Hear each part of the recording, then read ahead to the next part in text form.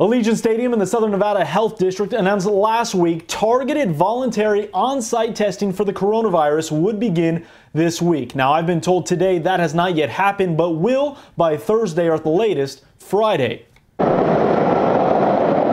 Health officials and stadium staff are still working through logistics of how many healthcare staff will be available and how they'll conduct the testing, whether it'll be inside, outside, or even a drive through setup. Those discussions will continue and include an on-site tour over the next couple days. As far as progress of the project, the completion date is still unchanged. Officials tell me they're on time for a July 31st completion. I'm also told the outside of the stadium is finished. On the north side, you can see the scaffolding is starting to come down where the lanai doors will open to view the Las Vegas Strip.